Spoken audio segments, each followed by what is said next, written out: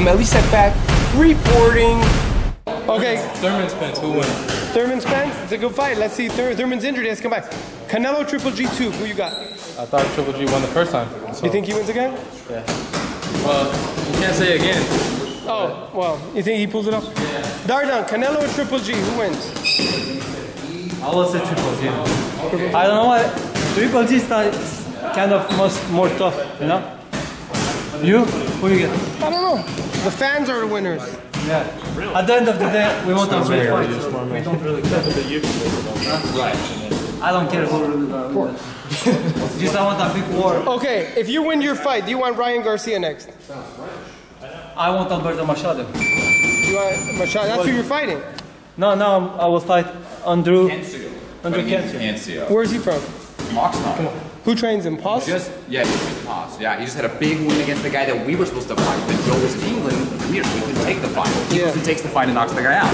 So now. So now you're fighting- what's so his record? fighting. He's uh, 18 and four, 14 knockouts, four losses, two draws. A lot of those, those draws should have been win. He's a tough dude. Good fight. He's a warrior. Yeah. He's a good guy. Yeah. He yeah keeps nice coming. kid. What's his name? Andrew Cancio. And you're fighting him next. We're fighting him August 17th, ESPN. Yeah. On uh, Fantasy Springs. You're headlining. And uh, That's badass. Yeah, yeah, great fight. Great fight. Headlining on TV is pretty cool. Yes. he deserves it. Come on. Headlining on TV. Yeah. Oh, yeah. So, Wilder or Joshua, who wins? You're asking Mike. Mike. I could tell you. Wilder. Well, uh, so that's, you know, I go with Joshua. It's, you know, I do. I do. Really? What? I go with Joshua. You know what? Yeah. If these were like welterweights, yeah, you'd be saying Joshua, right? What? If these were welterweights, you'd be saying Joshua, right? I don't know. Yes. USA. I just, I, I'm not sure about that. it's a, it's a close fight. I mean, Hey, it's, I swear, I promise you, I've never seen nobody hit someone as hard as Wilder hits people. Like, no, he's got a big right hand. He's got a big right hand. Listen, Wilder has knocked out every person that stepped in the ring with him. That's pretty impressive.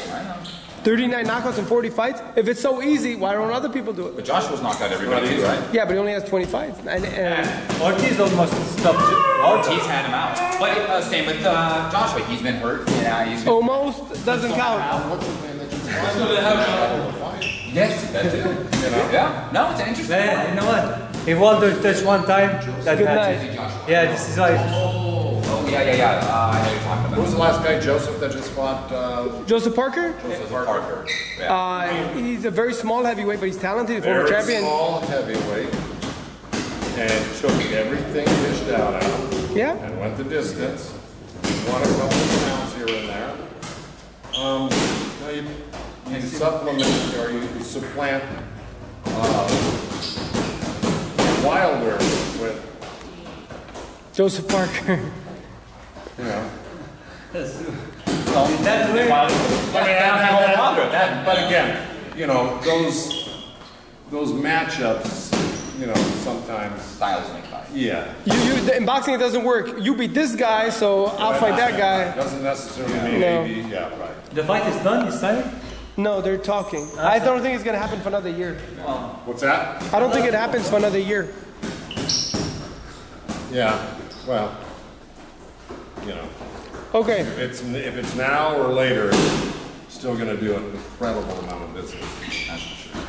So there you have it. Another great video for ES News. For ESNewsReporting.com, I'm Elie Seckbach reporting, and you can follow me on Twitter at Seckbach, and you can follow me on Instagram at Elie Seckbach. Take a step back, cause Elie Seckbach.